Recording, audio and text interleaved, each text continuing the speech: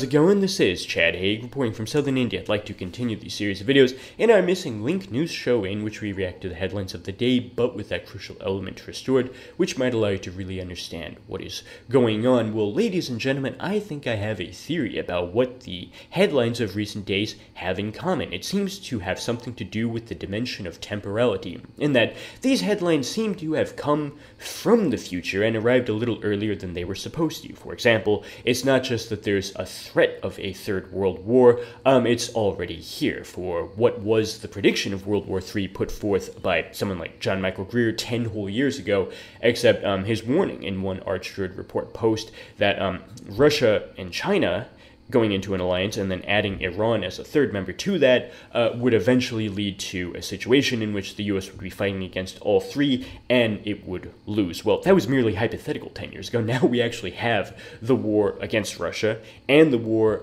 um, against Iran um, and um, they are not really going as well as the media would like you to think. In Ukraine, for example, uh, we found that despite sending over a hundred times more money to Zelensky than Kamala Harris got, keep in mind that Kamala Harris's billion dollars uh, that was supposedly raised in an, or- an organic grassroots movement by concerned citizens mostly consisted of just 58 of them. Yes, there are the, no fewer than 58 billionaires who have publicly endorsed Kamala, and certainly many more who haven't publicly done so but are still funding her. That's the organic grassroots movement of concerned citizens, citizens who are ultimately concerned about keeping the funny money government spending um, uh, going in order to have another couple trillions of dollars in spending end up ultimately just in their pockets. But be that as it may, the um, warning that um, there would be a major war with Russia and Iran from 10 years ago is no longer a warning. It's already here. And um, once again, they might have raised a billion dollars for Kamala Harris, but they've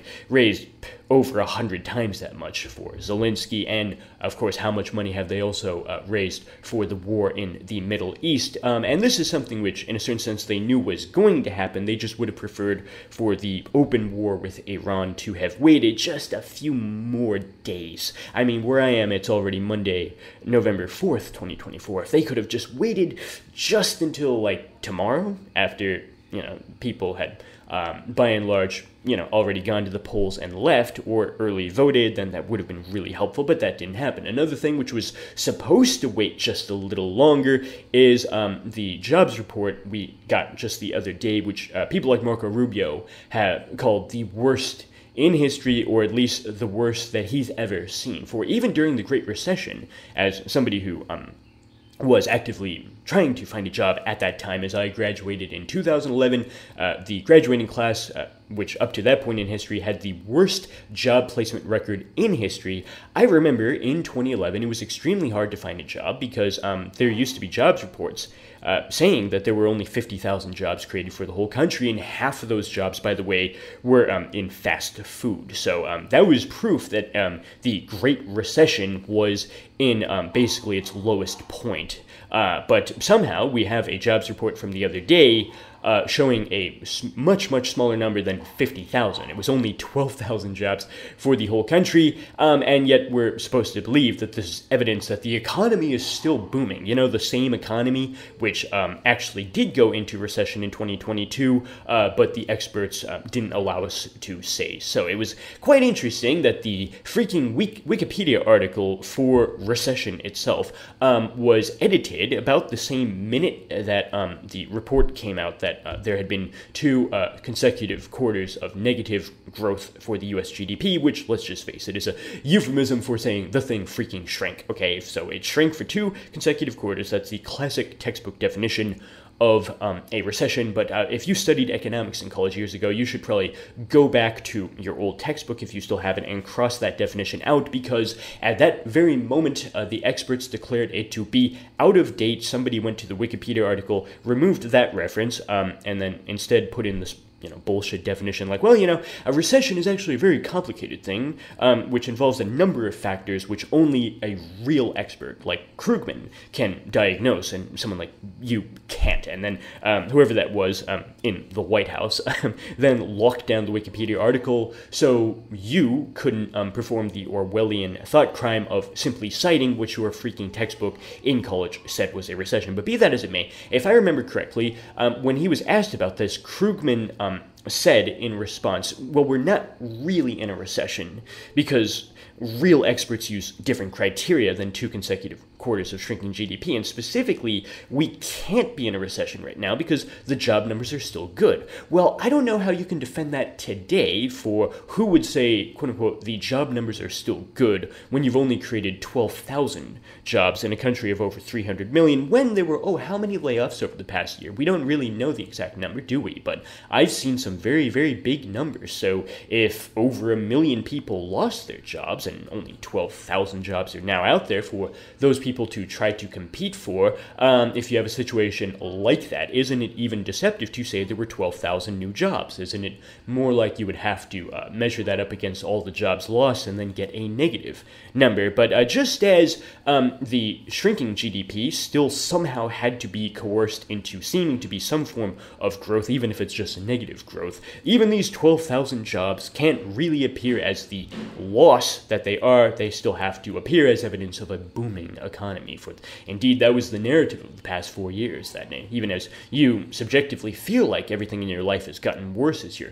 standard of living has tripled, and as 80% of Americans now consider fast food to be a luxury, like people used to think of, say, Red Lobster 20 years ago, which, by the way, doesn't exist anymore either. That's another um, business which has disappeared as a result of this booming economy. The only thing they could cling to was the claim that the job market was strong, even if it was found out later that a lot of the jobs which were created over the past few years were beyond bullshit. Um, they weren't just the sort of uh, New Deal jobs which Roosevelt funded back in the Great Depression, such as in my village. I still remember there's a giant, uh, useless ditch in the middle of the village which nobody uses. Which, um, when I asked one of my teachers back, like in third grade, about it, um, she said, "Oh, that was a, a New Deal project. Uh, Roosevelt um, tried to um, stimulate."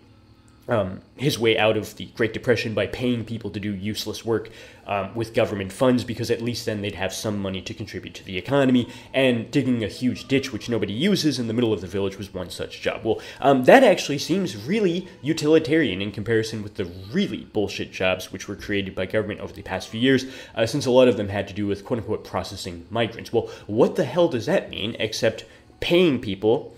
Uh, to pay people to break our laws for what were these uh, processors of migrants really doing except uh, giving these people debit cards with what five figure sums of money to then go out and um, you know buy all the stuff that you actually have to work for. That's what a lot of these jobs were. Oh, and also um, releasing people back into the country who had criminal records, including people from Afghanistan who were actually part of terrorist organizations that killed Americans. I mean, what more do you want as proof that somebody is not fit to be in the United States than that? But of course, the people who um, were getting the jobs, which proved that the economy could not be in recession because it was really booming, were doing that sort of beyond bullshit work. But it's interesting that now that um, the uh, media has to provide some sort of explanation for why you should give this very same administration another four years after they've actually put us now into a type of recession for reasons I will explain in just a moment.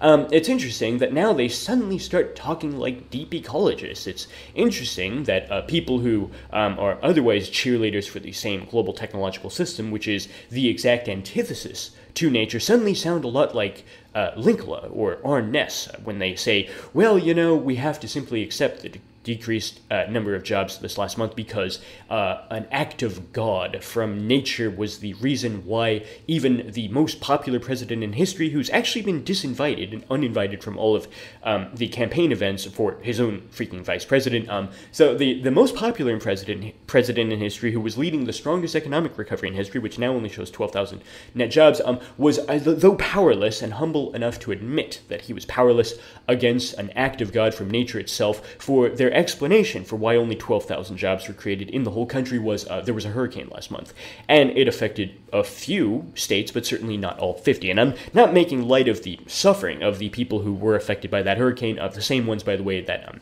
Biden administration told uh, we can't help you because we bankrupted FEMA by um, giving the money to migrants. So yes, the same migrants um, who they had to give money to to create the illusion of a strong job market, uh, uh, strong, strong job numbers, and a booming economy. The same migrants, by the way, who are currently hauling ass to the uh, U.S. border. There's a 4,000 person migrant caravan on foot in northern Mexico as we speak, trying to reach the United States and specifically New York City before the election, because even these migrants are skeptical of Kamala's uh, re-election chances. They realize that they need to get into New York as fast as possible uh, before that border gets shut down, because they want that ten thousand dollar debit card among the other benefits given to people as a reward for breaking our laws. But um, be that as it may, um, the uh, president of the United States um, has been humble enough to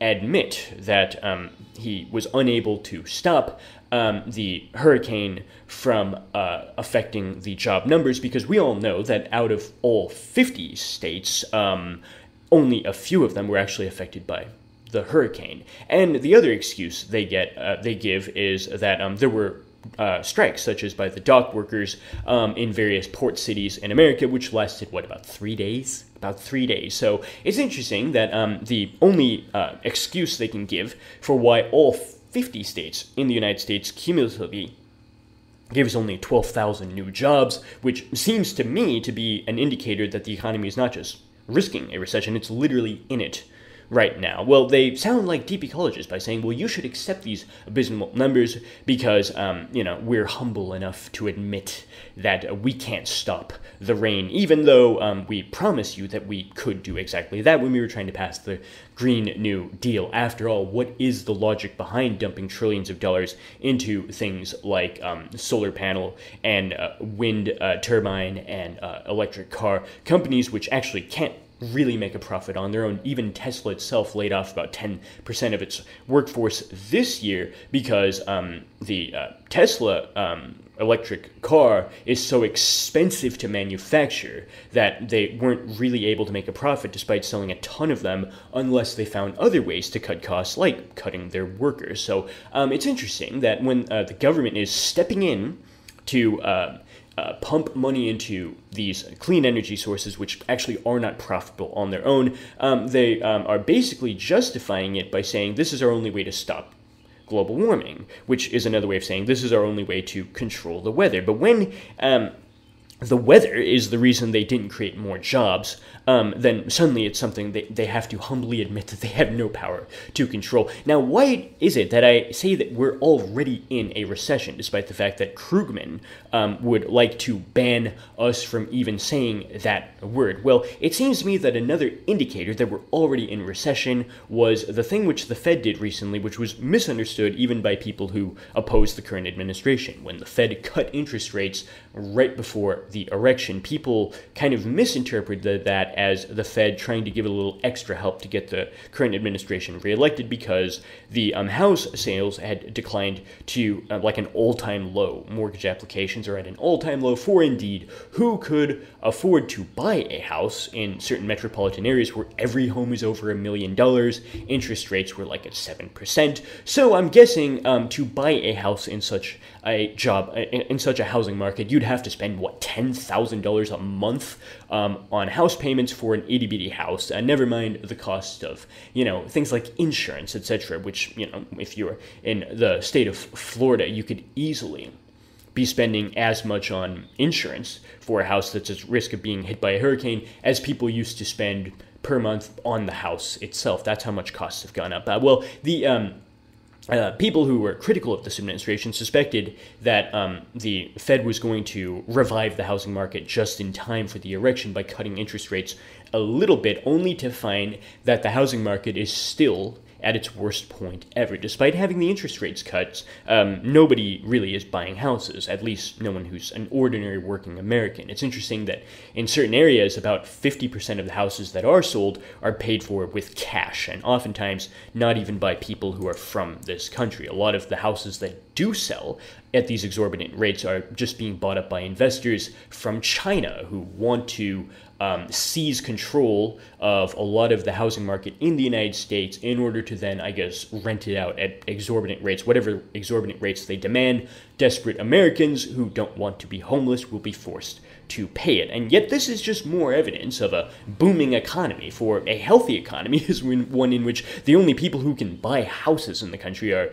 investors from China who are trying to control and dominate and um, gain uh, ultimately a political advantage over this country. Isn't that right? Well, it's interesting that um, the fact that the housing market did not ever recover despite cutting the interest rates is something you have to bear in mind um, is uh, confirmation of the reason why the interest rates were cut in the first place. Um, the real reason why the Fed cuts interest rates is um, as an indicator that the economy is already in recession. So you raise the interest rates to stop inflation from an economy that's being overheated by all the money you pump into it, and then you cut the interest rates when the economic conditions actually go into ones like a recession. And um, whereas that's kind of more hypothetical.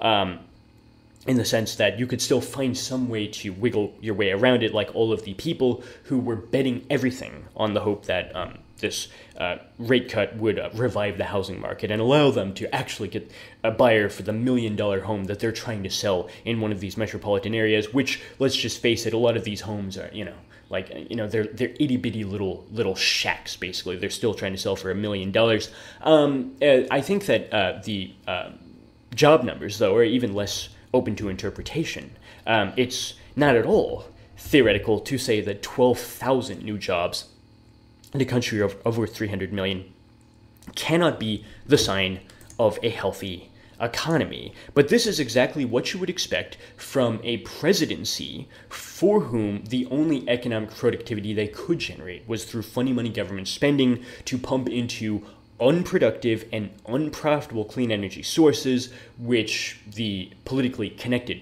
happen to own stock in, and um, to creating even more bullshit jobs like paying people to pay people to break our laws. The question, though, is whether this will sway enough voters to change their mind about what they think the next four years should look like. But either way, whoever takes office in January is going to be overseeing an economy that is not merely going to be at the risk of recession, but is already in one.